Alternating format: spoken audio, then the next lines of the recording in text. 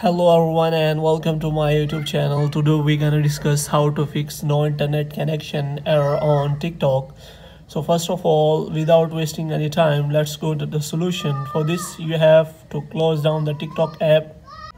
After closing what you have to do is you have to check whether your internet connection is active or not which means if you are connected to wi-fi you have to check whether your Wi-Fi is working properly or not. If it is working properly you have to again turn it on and turn it off so that it can work properly. If you are connected to data connection you can also check that whether it is uh, connected to LTE or 4G or it is turned on or off. If you have checked all these uh, network connections and the problem is still again what you have to do is you have to click on settings of your app. For this you have to click on settings. After that you have to scroll down and you have to click on apps.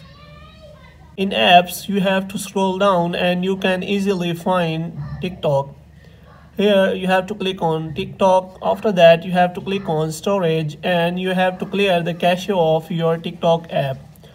After doing that you can check whether the problem has solved or not. If the problem is still occurring what you have to do is you have to open the play store and you have to check for tiktok update. If your tiktok app is not already updated then you have to update and hope your problem will be resolved by the new update of the tiktok app hope you have liked this video. Kindly like this uh, video subscribe our channel and press the bell icon so that you can get the notification of our latest videos. Thank you